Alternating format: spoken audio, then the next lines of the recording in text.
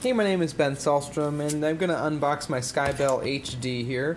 Uh, just show you what it comes with. I just ordered this. This is uh, December of 2016, and uh, I wanted to get these set up at my place just to provide a little extra security, as a few of our neighbors have had some run-ins with uh, some things disappearing.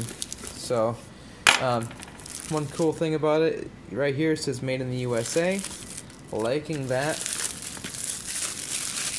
Get the wrapper out of the way. And then just kind of a simple box here. We'll open the top, just like so.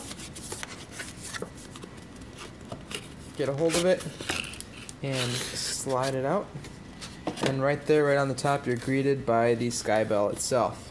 As you can see, I have the bronze color nothing else inside there, so everything must be under here.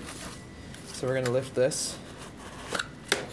Looks like uh, it pretty much lifts everything out. There's a foam pad right here. And there we have the literature for it. Quick start guide. And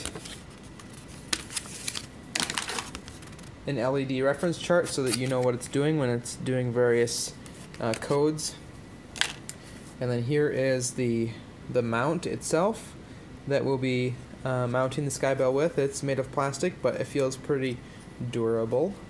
And then we've got a screwdriver uh, bit as well as the handle.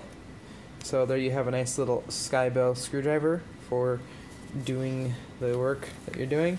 Right here you have a hammer drill bit. So you can use that if you have a masonry wall like stucco or brick or something like that. And then you have some mounting screws.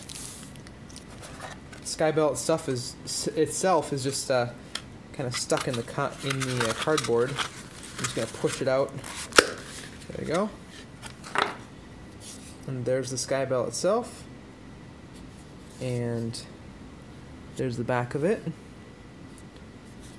So right here and here is where these, uh, that's where the power connects through from the terminals right here.